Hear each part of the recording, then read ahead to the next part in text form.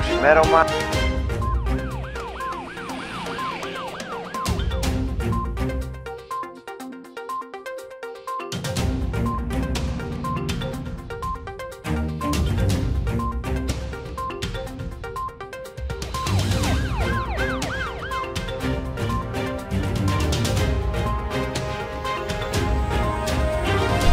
Πρωτοσέλιδο με τον Ανδρέα Δημητρόπουλο.